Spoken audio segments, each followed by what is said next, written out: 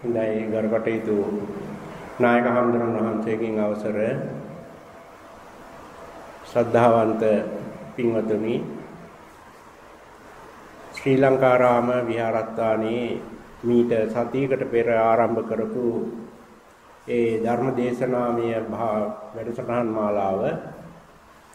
දැන් මේ දෙවැනි සතියටත් අද දවසේ ඒ ධර්ම දේශනාව ආරම්භ කරන්න බලාපොරොත්තු වෙනවා.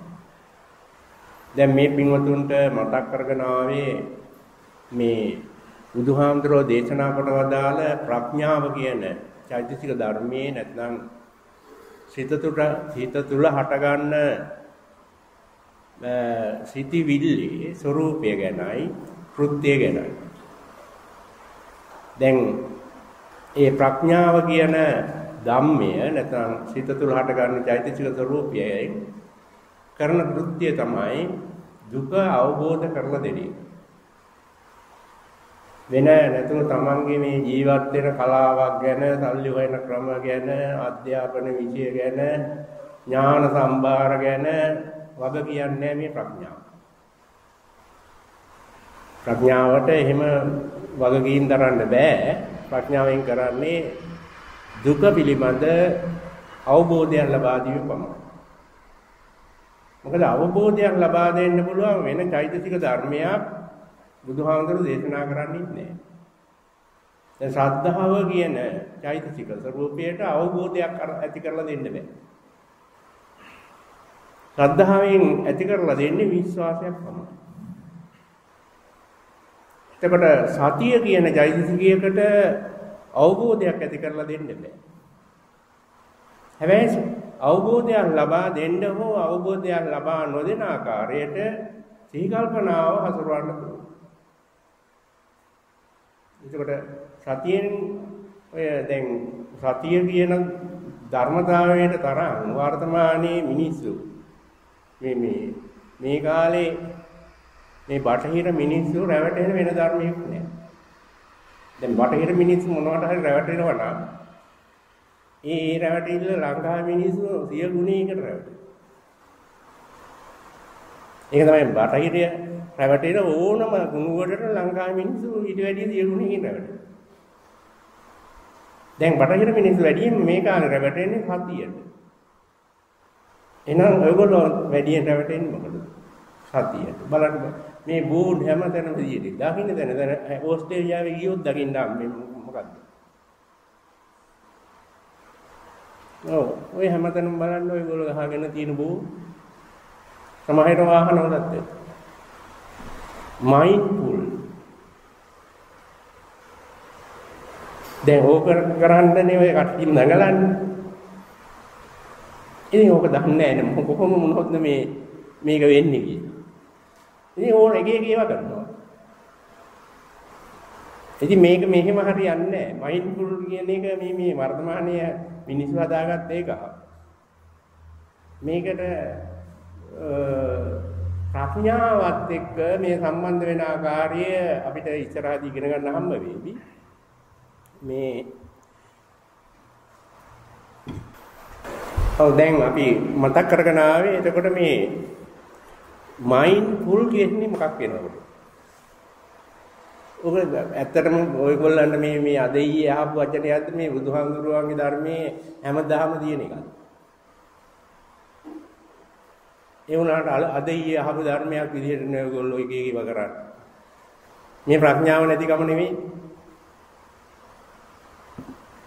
මයින්ඩ්ෆුල් කියන තැන තියෙන්නේ ඒකට තමයි ධර්මයේ කුසලයේ කුසල සංකල්පන තමයි මේ කියන්නේ. ඕක නැතුව මේ සුද්ධගෙන් ඉගෙන ගන්න ඕන දෙයක් නෙමෙයි අපි. දැන් කුසල සංකල්පනා වලට කියන්නේ එතන තියෙන්නේ මනස සම්පූර්ණ. එහෙනම් දැන් මනස අසම්පූර්ණ ඉවෙන්නේ කොහේද? අකුසල ධර්ම. අකුසල සංකල්පනාවයි මේ තියෙන්නේ.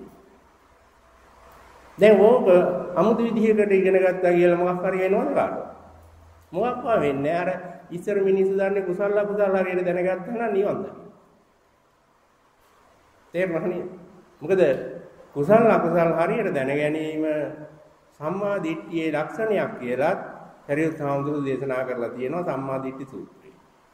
ඒ ඒකත් බණකටත් මේගොල්ලන්ට ගියා දිගට. තේරුණානේ? ඒ වුණාට දැන් ඔයගොල්ලෝ මයින් ෆුල් වෙන්න එක එක ඒවා ගන්න. එලක ඇඳුම් අඳිනවා. හොන්ඩේ පීරනවා. ඉස්සරත් කරා ඕක. දැන් මෙහෙම කරපුවාම අලුත් ක්‍රමයකට කරපුවා එහෙම වෙයි කියලා හිතන්න. ඔය ඔයකොම හිතෙන්නේ කාටද? ලෞකික ප්‍රඥාවවත් කාමාවචර ප්‍රඥාවවත් නැති වුණාම අපිට හිතෙන දේවල්. එතකොට ධර්මයේ අපිම එක එක කාලවලදී විකෘතියටපත් වෙනවා. එහෙමනම් ධර්මානුකූලව ওই කුසල සංකල්පනා කොහෙද තියෙන්නේ? එතන තමයි මනස සම්පූර්ණයි කියලා කියන්නේ ධර්ම. හැබැයි කුසල සංකල්පනා කුසල් වර්ග තියෙනවා.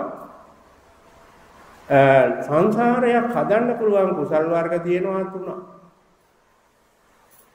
ඒ කුසල් හතර තුන් වර්ගයේ තිබුණේ තිබුණට සංසාර විමුක්තියක් නෑ. එතන ප්‍රඥාවක් තියෙන්න පුළුවන්. ඒ ප්‍රඥාව ලෞකිකයි. එහෙනම් මයින් කුල් වෙන ක්‍රම තුනක් තියෙනවා අපිට. එකක් තමයි කාමාවචර කුසලයක් කරන වෙලාව. ඊට වැඩිය ප්‍රබලව මනස පූර්ණයටපත් වෙනවා රූපාවචර කුසලිය තුල. ඊටත් වැඩිය පූර්ණ தත්ත්වයටපත් වෙනවා අරූපාවචර කුසලිය තුල. දැන් දැන් ඔය කරන බොරුවේ ලෝකයා සම්පූර්ණ මනස සම්පූර්ණ වෙනවා කියන්නේ අකුසල. දැන් මේක ඉගෙන ගන්නවා අර පරණ තමන්ගේ බුද්ධ බුදුහාමුදුරන්ගේ ධර්මයේ තියෙන සත්‍යය අහකට දාන්න. මේවා කරන්නේ මිනිස් වෙයි ප්‍රඥාව නැති. ඒකින්ද මෙතන මේ මම මේ කියාදෙන්නේ මේ බොරුව නැත්නම් ඔය ලෝකයා කියන මයින්ඩ්ෆුල් එක අපිට වැඩක් නැහැ. බුදුහාමුදුරු දේශනා කරපු ධර්මයයි අපිට වැදගත්. ඒ ඒකේ ඉඳලා මිසක් ඔයගොල්ලන්ට මේ කියන එකකවත් ඔය කරන භාවනාවල ආනිසංසෙම හිතන්නවත් අමාරුයි. ඇයි මම මෙහෙම අද කියා දෙන්නේ? දැන් අද මේ සතියේ අපි බලාපොරොත්තු වෙන්නේ මේ ලෝකෝත්තර ප්‍රඥාවේ අන්තර්ගත ලෝකෝත්තර ප්‍රඥාව ශ්‍රාවකයෙක් තුළ සක්‍රීය වෙනකොට ඒ කියන්නේ ක්‍රියාත්මක වෙනකොට ඒ ලෝකෝත්තර ප්‍රඥාවෙන් විද්‍යාමාන වන ධර්ම කාරණා හතරක් ආනිසංස හතරක් නෙවෙයි ආනිසංස හතක් බුදුහාමුදුරු දේශනා කළා. දැන් ලෝකෝත්තර ප්‍රඥාව තුලින් විතරක් දකින්න පුළුවන්. වෙන ප්‍රඥා එකකවත් මේක නෑ. මේ ලක්ෂණ නෑ. දැන් මං කිව්වා ගියා දුන්න මේ වෙනකොට ප්‍රඥා වර්ග කීපයක්. කාමාවචර කුසලයේ තුල තියෙන කාමාවචර මට්ටමේ ප්‍රඥාව. ඒක තුල මේ කියන ලක්ෂණ හත දකින්න නෑ කියනවා බුදුහාම. ඒ වගේ රූපාවචර කුසලයක් කරලා ආලාර කාලාම වගේ එන්නේ රූපාවචර ප්‍රඥාව තුල මේ කියන ආනිසංස හත දකින්න නෑ කියනවා. ඒ වගේම අරූපාවචර කුසලයේ තුල අන්තර්ගත අරූපාවචර මට්ටමේ ප්‍රඥාව තුල මේ ආනිසංස හත දකින්න හම්බ වෙන්නේ නැහැ. ඔයගොල්ලෝ අර සුද්ධකේ ඉගෙන ගත්ත මයින්ඩ්ෆුල් අවස්ථාවේ මේ එකක්වත් දකින්න. ඒ ඒක මේ අකුසලයටත් ඔරොත් හරියන සම්පූර්ණ වීම අනේ මනස. ඒකින්ද එතන නැහැ. ඒකින්ද මේ තමන්ගේ දැනට අදහන විකෘතිය බලපානවා ධර්මයේ හැසිරෙන්න. හා ධර්මයේ ප්‍රතිඵල තමා තුළට ආවද නාවද කියලා තීන්දුව කරන්න මේක තමයි තියෙන ගැඹුරම දැන් බලමු මොනවද මේ බුදුහාමුදුරු දේශනා කරන ලෝකෝත්තර ප්‍රඥාවට විතරක් අයිති. ඒ ලෝකෝත්තර ප්‍රඥාව තුලින් විද්‍යාමාන වෙන ශ්‍රාවකයෙකුට හඳුන ගන්න පුළුවන් ලක්ෂණ මොනවද? මේ ලක්ෂණ වෙන දෙයක් නෙවෙයි. මහා සතිපට්ඨාන සූත්‍රයේ කුරුරටදී දේශනා කරනකොට බුදුහාමුදුරුවෝ මේ සති මහා සතිපට්ඨාන සූත්‍රයට කලින් දේශනා කරනවා මේ සතිපට්ඨානයේ වඩන වඩන් ගිහියෙක් හෝ පැවිද්දෙක් හෝ බුදුහාමරගේ ශ්‍රාවකයෙක් වෙලා මෙන්න මේ ආනිසංස හත අනිවාර්යයෙන්ම කැමති විය යුතුමයි කියලා. තේරුණානේ? ඒක නිකන් නෙවෙයි කියන්නේ. හැබැයි මේ සතිපට්ඨානය ගැන බුදුහාමුදුරුවෝ දේශනා කරන්න පටන් ගත්තේ ගුරු රටේදී මේ කිය නෙමෙයි මේ ගුරු රටට මේ මේ අවස්ථාව වෙන කාලේ බැලුවොත් බුද්ධ ජීවිත කාලේ අවසාන භාගය.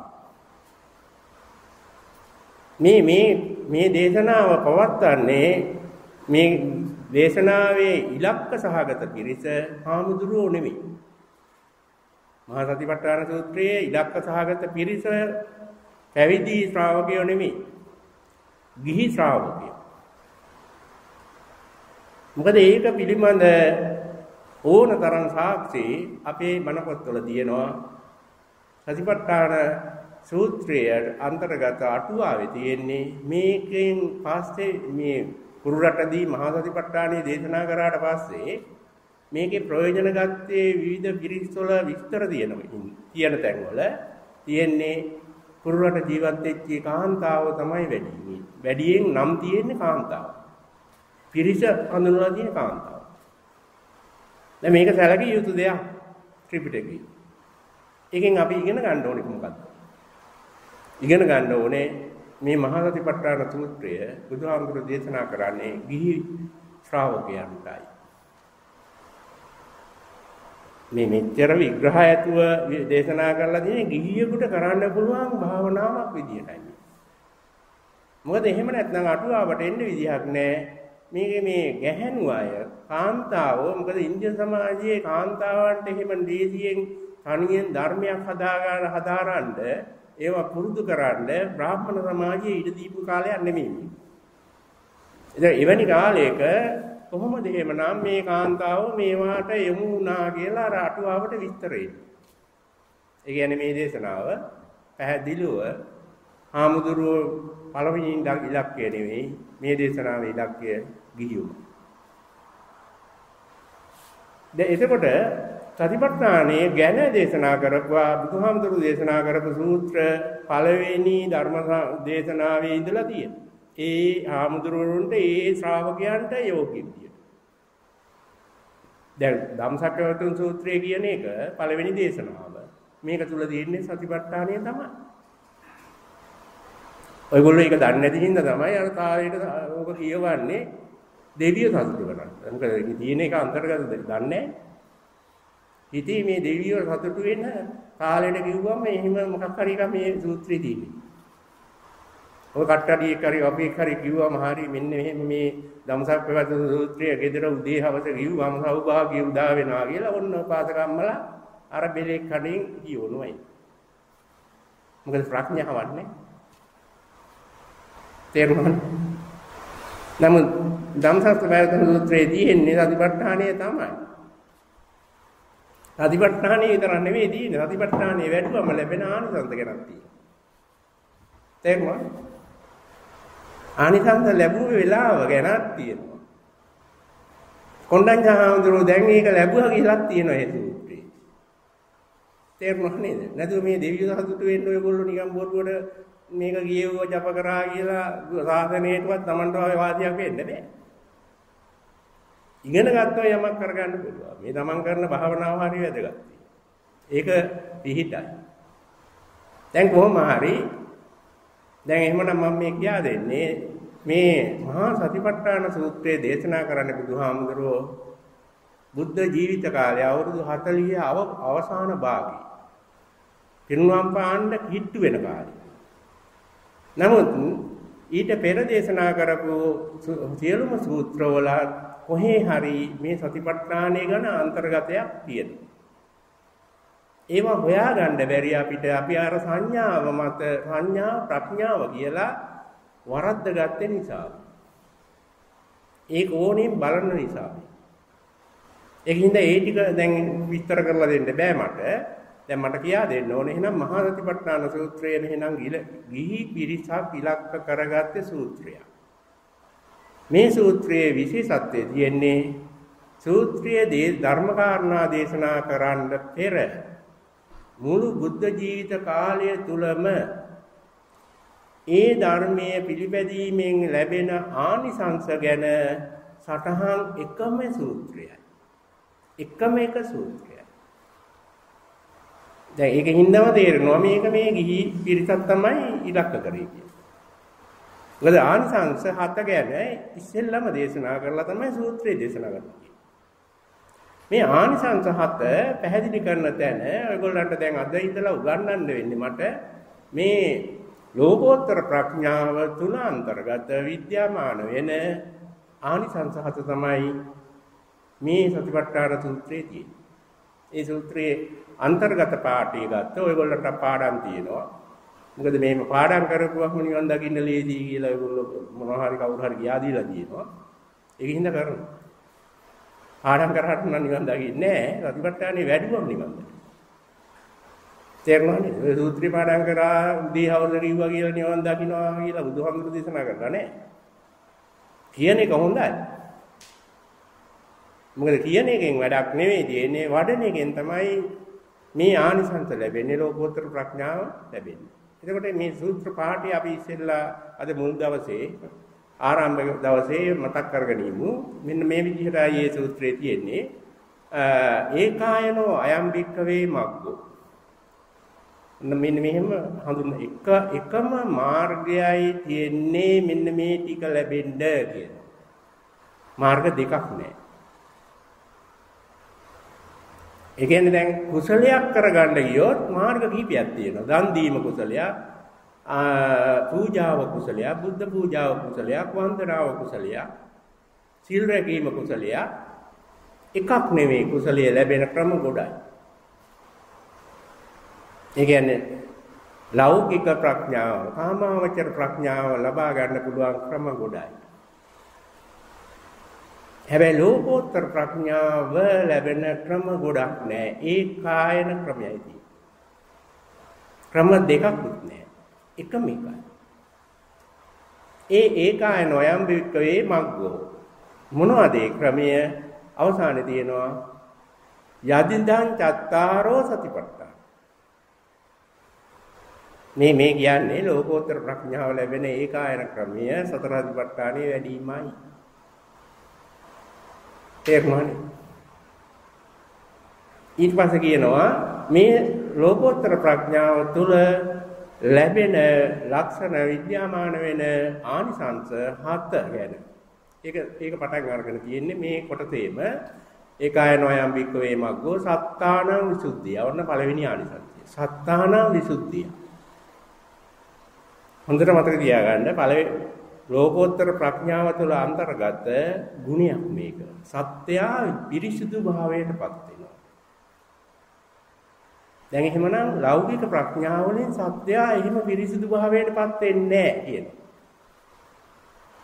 එතකොට ලෝක ලෝකෝත්තර ප්‍රඥාවෙන් පමණයි සත්‍යා සම්පූර්ණ පිරිසිදු භාවයටපත් වෙන්නේ. ඒක ඒක තමයි ආනිසංස. මේ පළවෙනි ආනිසංසය. ලෝකෝත්තර ප්‍රඥාව නැති තැනක කිසිම සතේ පිරිසිදුයි කියලා කියන්න බෑ කියනවා බුදුහාමුදුරුවෝ. තේරුණාද? එතකොට පිරිසිදු අපිරිසිදු භාවයේ මනින ඒකකේ අපිට ධර්මානුකූලව ඉගෙන ගන්න වෙනවා. මොකද ඔයගොල්ලෝ දන්නේ ඒකක වලින් නෙමෙයි බුදුහාමුදුරුවෝ සංසාරගත සත්‍යයේ පිරිසිදු අපිරිසිදු භාවයේ මනින්නේ. ඒ ගැන අපි මේ ආනිසංස ගැන කතා කරනකොට බලමු. නැත්නම් ඕයෑම් Tamanට හිතෙන්නේ මම මෙච්චර කල් භාවනා කරලා මමත් පිරිසිදුයි කියලා. ඒ Taman දන්නේ පිරිසිදුකම් මේකට අදාළ නැහැ. ඒගොල්ලෝ දන්නේ පිරිසිදුකම මේ අඩුම ගන්න මේ මේ මේ අඩුම ගන්න භද්‍ර මරණ මරණයකට උදව් වෙනවා. නිකම් මේ මරණයකටවත් උදව් වෙනවා. ඒක හින්දා මෙතන භයානකයි. බුදුහාමුදුරුවෝ මේක මන්නවා තියෙන්නේ කොහොමද කියලා ඉගෙන ගන්න වෙයි අලුතින්. එතකොට පළවෙනි ආනිසංසය තමයි සත්තානං විසුද්ධිය. දෙවෙනි ආනිසංසය සෝකය ඉක්ම ඉක්මවනවා. පාඨයේ තියෙන්නේ මෙහෙමයි සමතික්කමාය වෙනවා. සෝකය සමතික්කමාය. ඉතින් සෝකය කියන්නේ මොකක්ද කියලා ඉස්සෙල්ලා ඉගෙනගෙන තියෙන්න ඕනේ නැතුව ශෝකය කියන්නේ මොකක්ද කියලා දන්නේ නැති මිනිහට ඉතින් භාවනා කරලා ශෝකේ ඉක්මවනවා කියලා කොහෙවත් හොයාගන්න බෑ. ශෝක කරන එකම ශෝකේ ඉක්මවනවා කියලා Tamanට ඉතින් කියන්න පුළුවන් මම නම් ශෝකේ ඉක්මවනවා අරයන්න් නෑ කියලා ඒක මේ අකුසල් කරන විදිහට සම්පප්පලාව විදිහට ඉල්ල අරගෙන කියෝ ගියා විදිහට පුළුවන්. දැන් බෞතරයට වෙලා තියෙන්නේ. ඒ කියන්නේ එහෙම එකක් නෙමෙයි වෙනවා කියන්නේ මේ ලෝකෝත්තර ප්‍රඥාව ලැබෙනකොට ලැබෙන්නේ ඒකායන ක්‍රමයකින් සතිපට්ඨානෙ වැඩිවීමෙන් ඒ වැඩ ලබාගත්තේ ලෝකෝත්තර ප්‍රඥාවේ ස්වરૂපය අනුව එයා ඒ පුජ්‍යලයා වඩ පුජ්‍යලයාගේ සෝකයේ ඉක්මෝන ගතියක් එනවා. ඉතින් තමන් වඩනවා නම් තමන්ට තේරෙන දෙයක් මේක. තේරුණානේ? ඕවා තේරුන්නේ නැත්නම් මම අවුරුදු 20ක් භාවනා කරා කියලා බොරු කරා කරා ඒ අවුරුදු 20ක් බොරු කරා කියලා ඉගෙන ගන්න මේවා නැත්නම් කරලා නැහැ. තේරුණා නේද? මේක බීස්මේ ජනක දෙයක් නෙවෙයි. මේ ආනිසංස නැති දැනක කරපු භාවනාවක් නැහැ. සමත භාවනාව කරාට මේ ආනිසංස ලැබෙන්නේ නැහැ නේද? එක්ක වඩලා තියෙන සතිපට්ඨානිය කියලා සමත. මේවා තමන්ගේ විද්‍යාමාන ලක්ෂණ. මං කිව්වනේ මේ සූත්‍රයේ දේශනා කරලා තියෙන්නේ ගිහියන්ට කියලා එහෙනම් ගිහියන්ට තේරෙන්නේ මේ කියා දීලා තියෙන ඒගොල්ලන්ට තේරෙන්න ඕනේ. බොරු කරන්න බෑ. එහෙමනම් ඊගාවට තුන්වෙනි ආනිසංසය. තුන්වෙනි ආනිසංසය ගත්තම පරිදේවේ ඉක්මුණා. ඔන්න ලෝකෝත්තර ප්‍රඥාව කරන තව දෙයක්. පරිදේවේ කියන්නේ ඔයගොල්ලන්ට ඔය මානව ලොකුම හිමිකම ඇඳීම වැළපේ. ඇඳීම වැළපීම තමයි පරිදේවේ කියන්නේ. ඕකත් දැන් මං තේ මට තේරෙන්නේ නැහැ කියලා ඉලක්ක පාස කම්මලා කියන ඕක තේරෙන්නේ නැහැ පරිදේවේ. ඒකට 60 පැනලා නමුත් 60 පහින ගම කරෙත් පරිදේවේ. තේරෙන්නේ නැහැ කියලා නහයෙන් වඩන එක කරන්නේ. ඒත් පරිදේවේ. ඒත් තේරෙන්නේ. දැන් බෙහෙනවා නේද ප්‍රඥාවේ ධර්ම. අඬා අඬා පරිදේවේ තේරෙන්නේ. තේරෙන්නේ නැහැ කියලා අඬනවා. ඔන්න උපාසක උපාසිකා ලීලා. තේරුණානේ ධර්මයේ සම්බන්ධව උපාසිකා ලීලා ඕකයි. ඒකත් අනහයෙන් අඬනවා කියන්නේ පරිදේවේ තමයි. තේරුණානේ අදිපට්ඨානේ වැඩුවා නහයෙන් අඬන උපාසක උපාසිකාව ඉදිරි වෙන්න බෑ. තේරුණානේ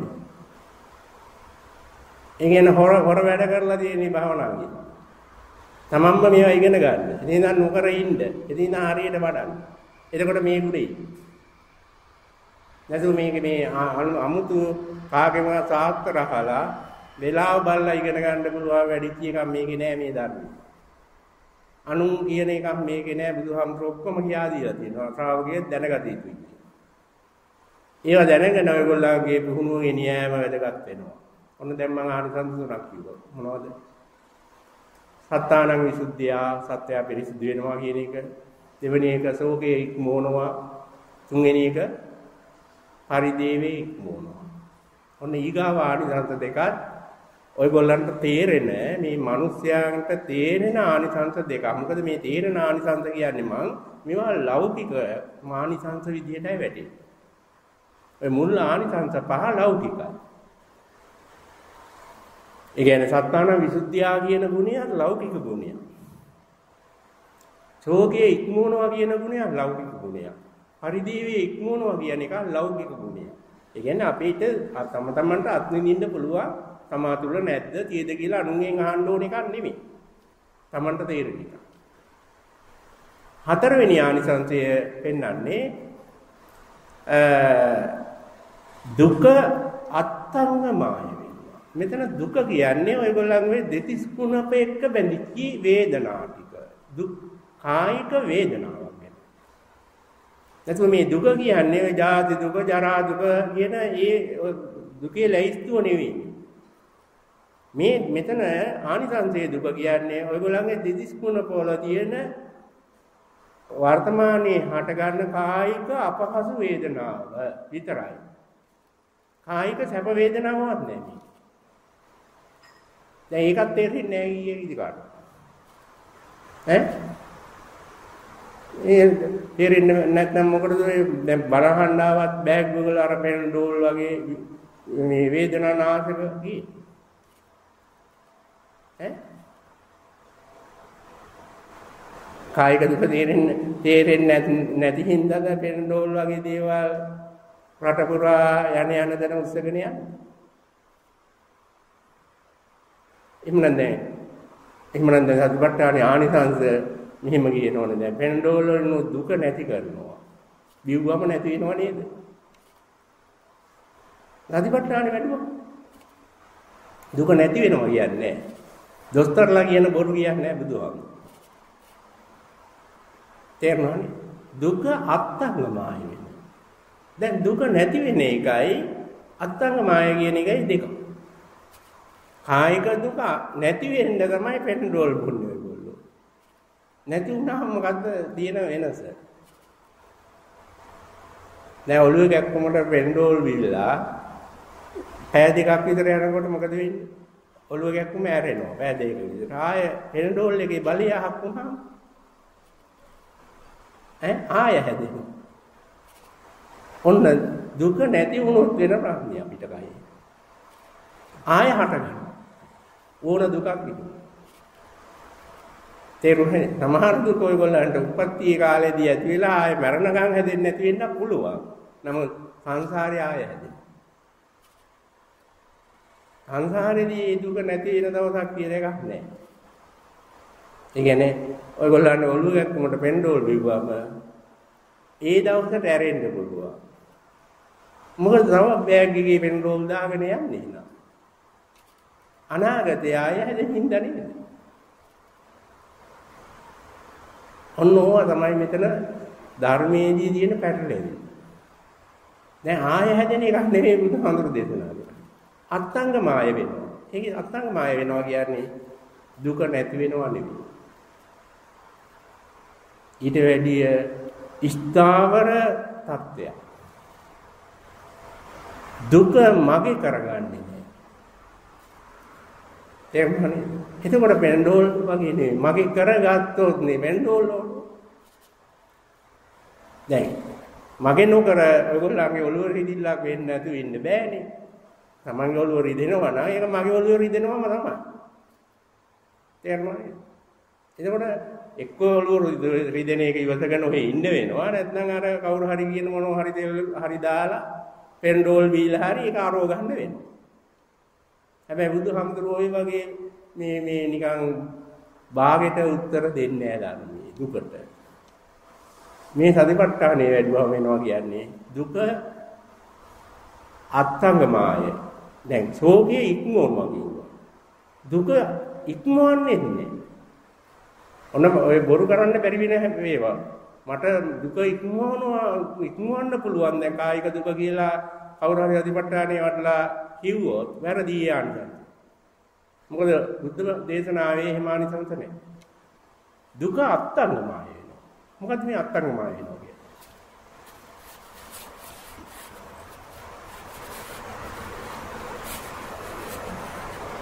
දුක අත්ංගමාය වෙනවා කියන්නේ මගේ නෙවෙයි. දැන් ඔයගොල්ලන්ගේ ළඟ ඉන්න මිනිහෙක් ගේ ඔළුව ගැක්කමයි කියලා කෑ ගහනකොට ඔයගොල්ලෝ වෙන්ඩෝල් බොනවද? ඈ දැන් ළඟ ඉන්න මිනිහා ඉන්න බෑ ඔළුව ගැක්කමයි කියලා කෑ ගහනවා. එතකොට දැන් ඔයගොල්ලෝ පෙන්ඩෝල් බොනවා ඔයගොල්ලෝගේ ඔළුවට තෙල් දානවා. ඒ වගේ මෝඩ වැඩ එහෙම මෝඩ වැඩ කරන අයත් ඉන්නවා. දැන් ඒක මෝඩ වැඩක්. මොකද දැන් මගේ ඔළුව නෙවෙයිනේ රිදෙන්නේ. ළඟ ඉන්නේ කාගේ ඔළුවනේ. එහෙනම් ළඟ ඉන්නේ කාගේ ඔළුව මගේ ඔළුව නෙමෙයි කියන එක තමයි මගේ කියලා බාහිර ගන්න නැති එක. අත්තංගමයි. තේරුණේ? ළඟ ඉන්නේ කාගේ ඔළුව රිදෙනකොට තමන් තමන්ටත් අමාරු නම් උගේ ඔළුවත් තමන් බාර අරගෙන මගේ කියලා. එහෙම පිස්සුත් හැදෙනවා හිටියම. තේරුණානේ? ඉතින් අනික කිව්වන්ගේ අමාරු තමන්ගේ අමාරු වගේ. ඒ ඒ ඒවා ටිකක් මතක තියාගන්න එක මන මානව හිමිකම් නෙමෙයි. එහෙම ඒවා ගොඩක් වැඩි වෙනවා නම් මිනිහෙක්ගේ ඒවා പ്രേත හිමිකම්. මල පෙරේ තියන්න තියෙන ලක්ෂණ. මේ අනුන්ගේ අමාරු තමන්ගේ අමාරු. තේරුණානේ? මාන මෙහිම ගන්නෙ. මාන මෙහිම ගන්න කියන්නේ තමන්ගේ ඇඟේ කැක්කුම තමන්ට තේරෙන්නේ. ඒක නිසා අනුන්ගේ කැක්කුම බොරුවට තමන්ගේ කර ගැනීම නෙමෙයි. තේරුණානේ? අනුන්ගේ කැක්කුම ඔළුව ඔළුවේ කැක්කුම හරි ඇඟේ කැක්කුමට හරි කරුණාව දක්වන එක මානව හිමිකම. ඔයගොල්ලෝ කරුණාව දක්වනවා නෙමෙයි කරන්නේ බෙලක් එවුවන්ගේ. ඒ ඇඟේ අමාරුව මගේ කරගන්න. තේරුණා? ඒ මගේ කරගෙන උඩ පිට වෙන්න බෑ.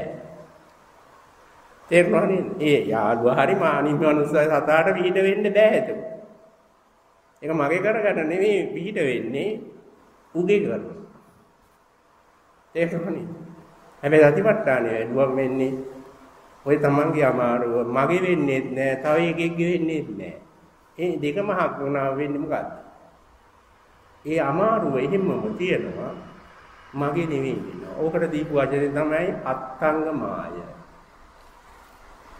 ඒ කියන්නේ මගේ වෙන්නේ නැහැ, තව එකෙකුට බාර දෙන්නේ නැහැ. තේරුණාද?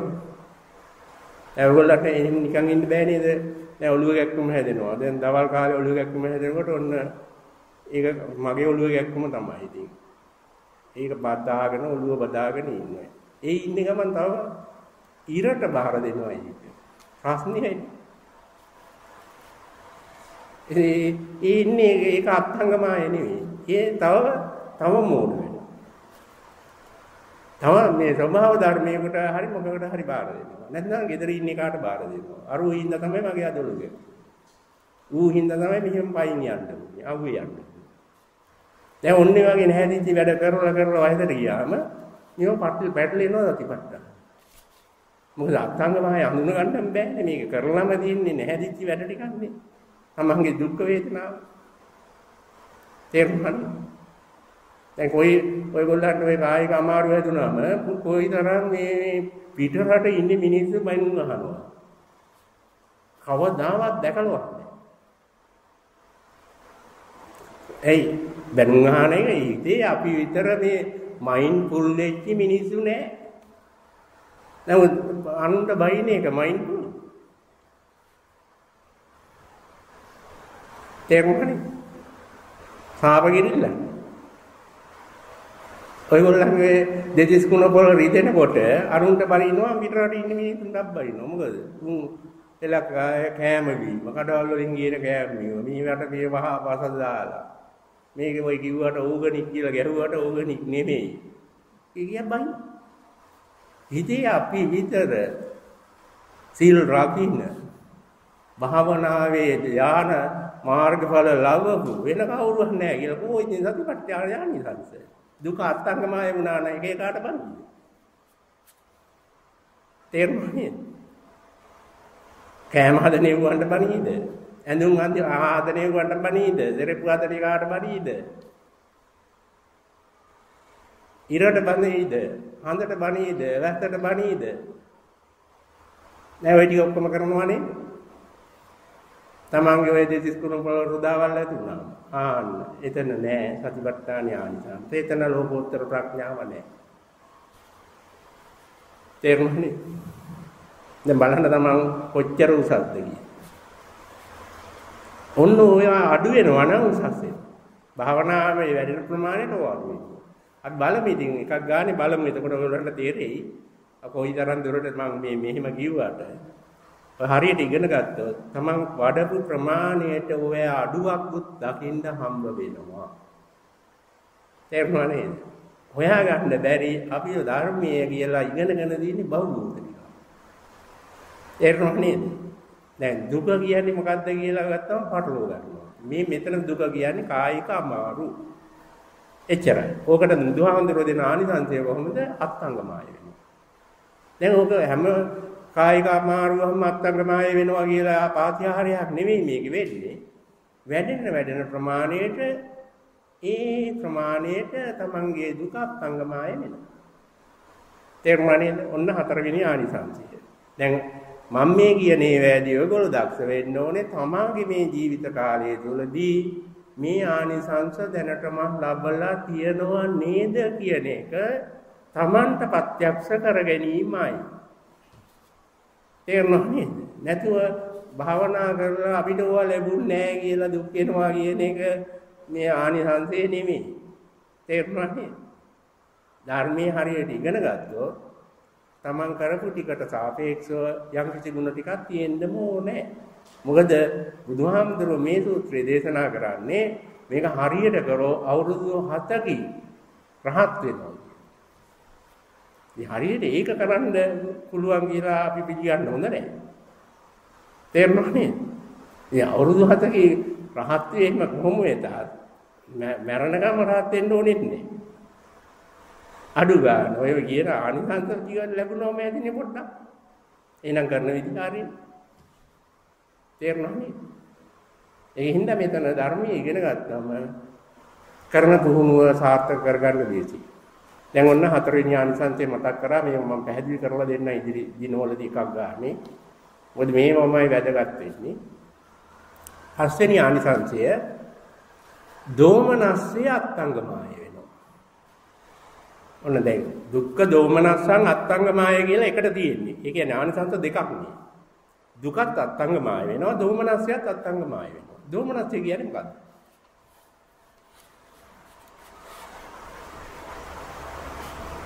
දැන් සතිපට්ඨාන සූත්‍රයේ සතිපට්ඨානය ගැන කියනකොටම ওই වචන එන්න එන්නේ නැද්ද? දුක නැහැ. දෝමනස්සේ තියෙනවා.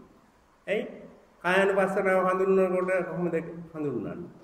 වේදනානුපස්සනාව හඳුන්වනකොට කායේ කායानुපස්සී විහෙරති ආතාපි සම්පජානෝ සතිමා විනේය ලෝකේ අවිජ්ජා දෝමනස්සා. ඔය දෝමනස්සේ කියන්නේ මොකක්ද? ඔබ තමන් ළඟ නැති දෙයක්.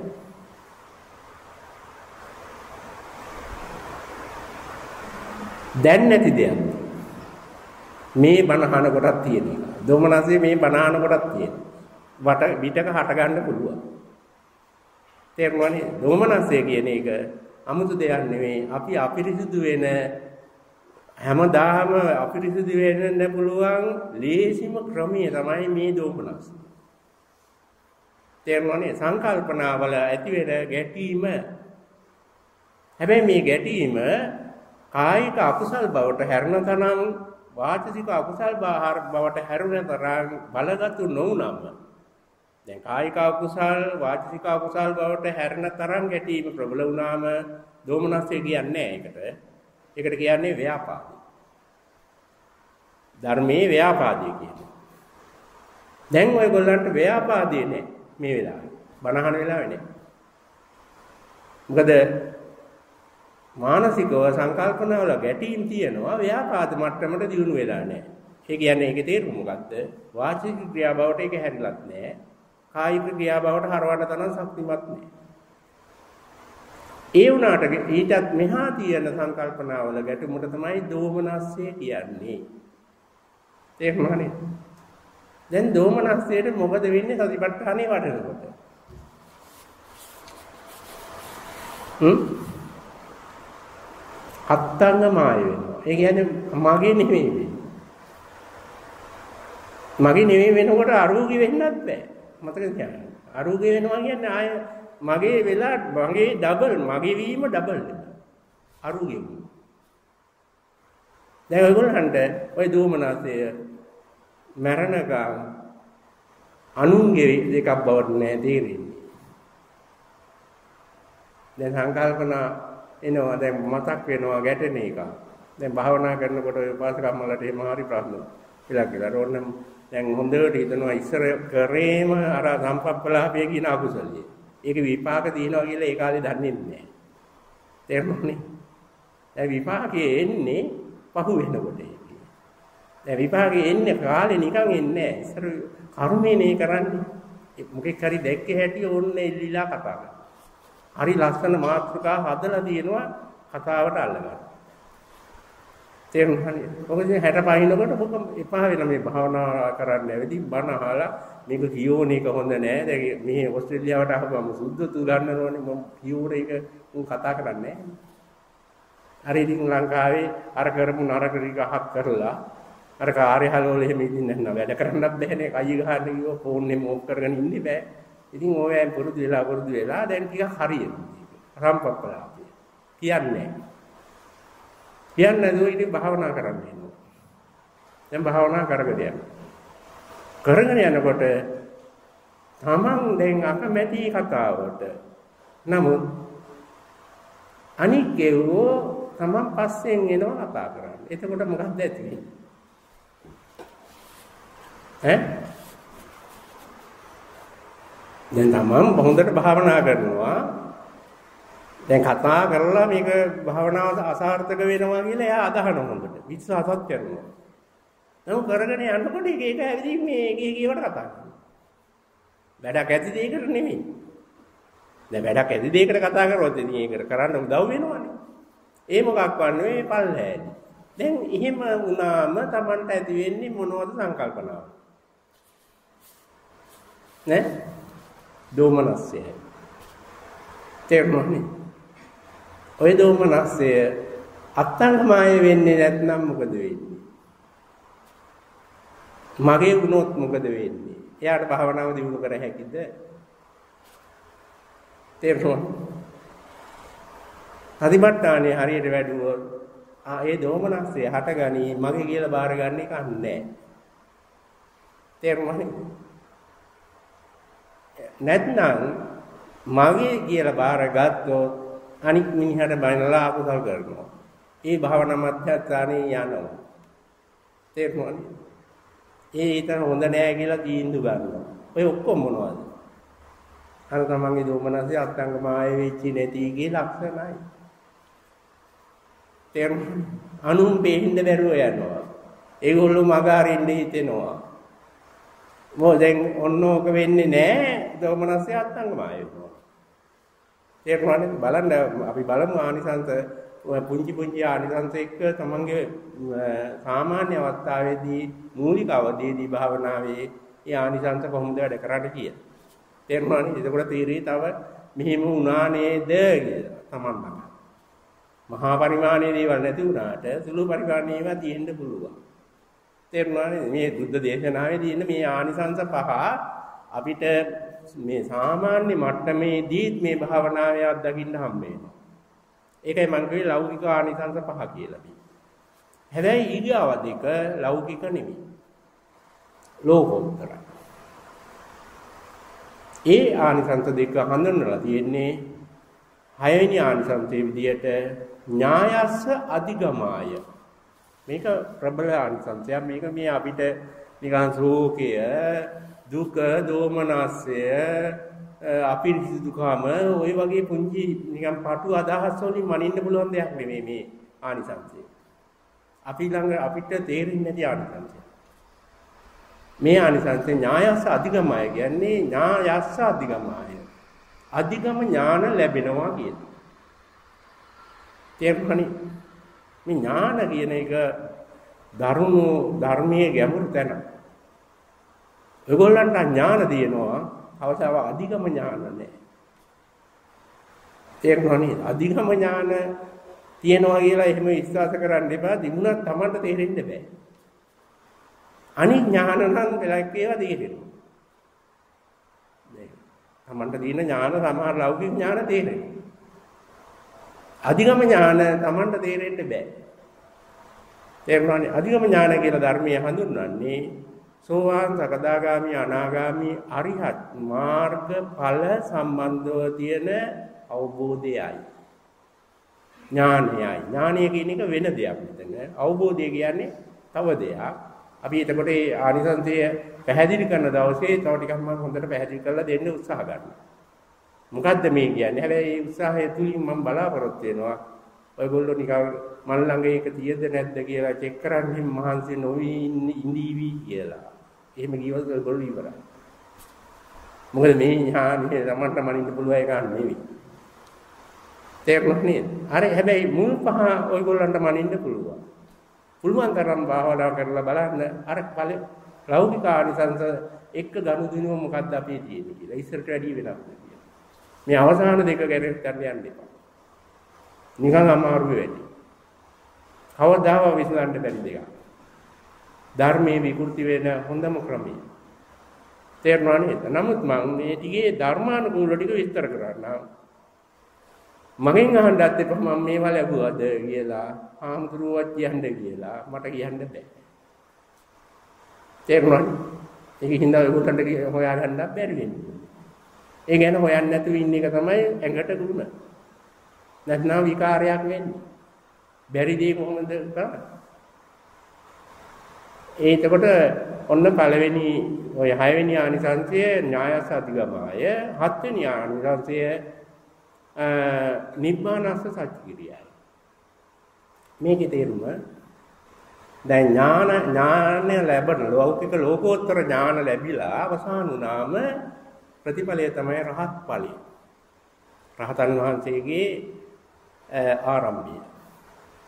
රහතන් වහන්සේ කෙනෙක් පහළ වෙයි. මෙන්න මේ රහතන් වහන්සේ කෙනෙක් පහළ වෙච්ච එක තමයි නිබ්බානස්ස සත්‍ය ක්‍රියාව කියලා මේ ආනිසංසයේදී. තේරුණානේ? දැන් බලන්න එහෙනම් රහතන් වහන්සේ කෙනෙක් පහළ වෙන ඒකායන ක්‍රමී කොමකද්ද? සතර හදිපට්ඨානෙ වැඩි. තේරුණානේ? ඒ උනාට දැන් බණහලත් වෙලා රහතන් වහන්සේලා පහළ වෙලා ඉන්නෝනේ ඕස්ට්‍රේලියාවේ. රහත් බණහල රහත් වෙච්ච අය ඉන්නවා.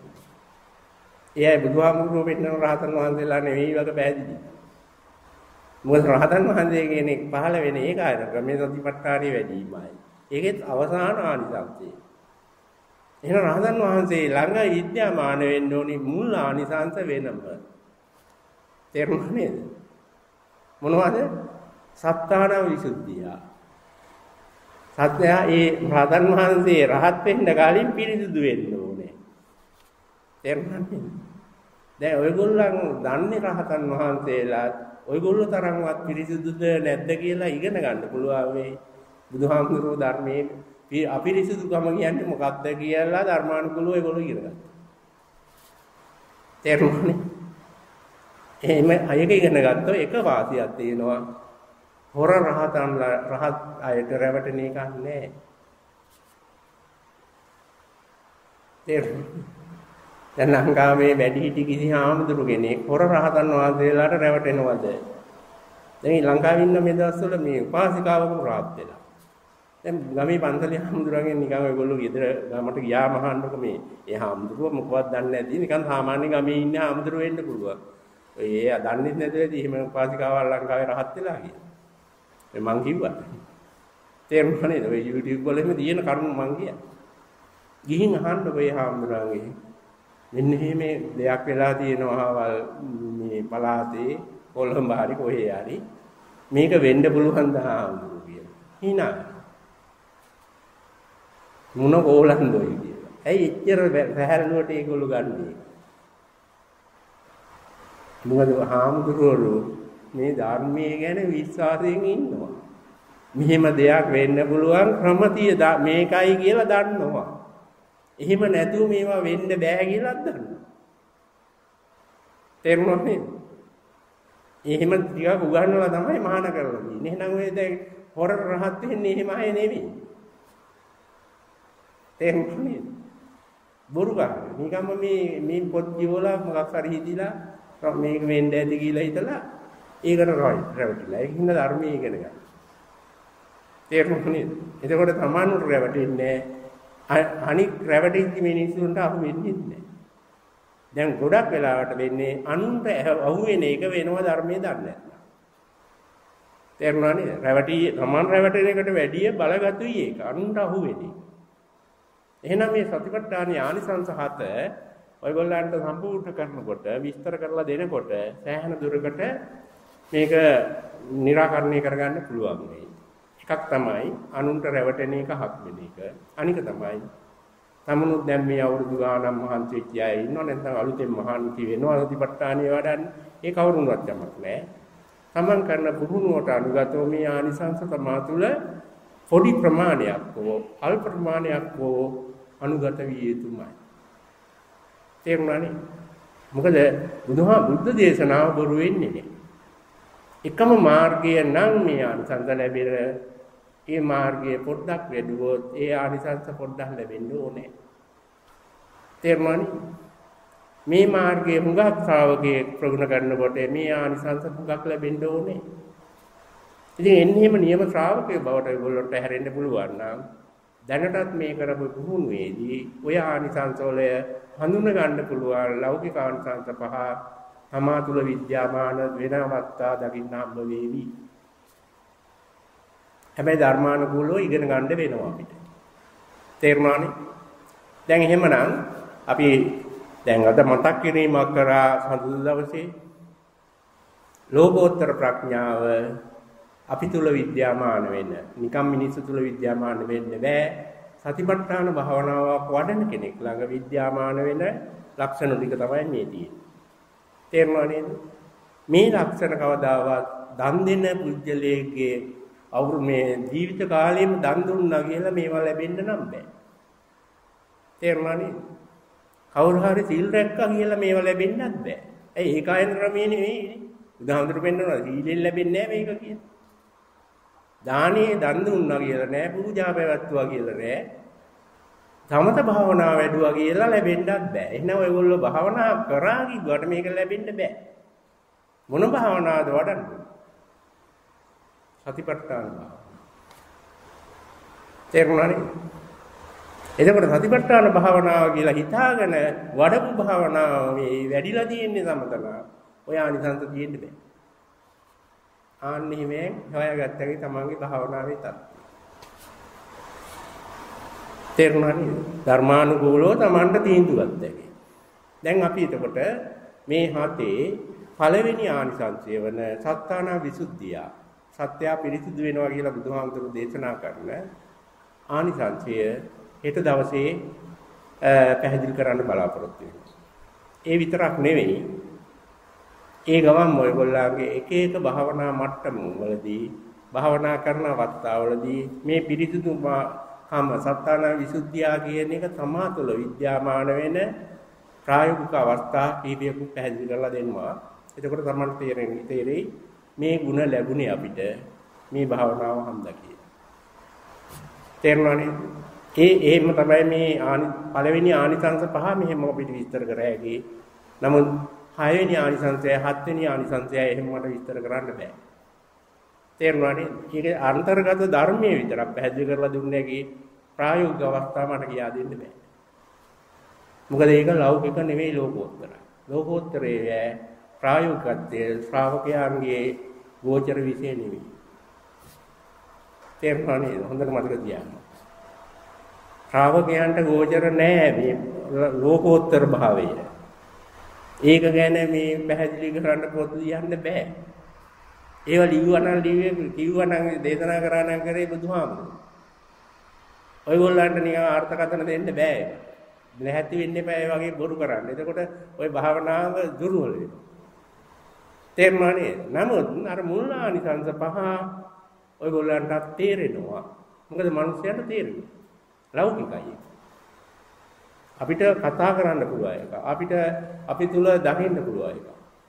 ඉතින් බලමු අපි හොඳට මේ දවස් ඉදිරි දවස් කීපය තුල ඒකට ලෞකික ඔය ආනිසංස ටික පැහැදිලිව ඔය භාවනාව එක්ක සම්බන්ධ වෙවි තමා තුල ඉස්මත් වෙච්ච තැන් කියද නැද්ද ඒ වගේ මේ එක එක දැන් සත්තානා විසුද්ධියා කියනවා නම් මේ සත්‍ය අපිරිසිදු වයින් අහක් වෙනවා කියන එකයි කොහොමද අපි මිනිසෙක් විදිහට සතෙක් විදිහට අපිරිසිදු වෙන්නේ? කොයි විදිහටද අපි අපිරිසිදුයි කියලා බුදුහාමුදුරුවෝ දේශනා කරලා තියෙන්නේ? ওই වගේ කරුණු ගොඩාක් අපිට වෙනම අලුතෙන් ඉගෙන ගන්න වෙනවා. දැන් හෙට අපි සත්තානා විසුද්ධියා කියන ධම්ම දහම් පදයේ පමණ සාකච්ඡාවක් කරන්න බලාපොරොත්තු වෙනවා.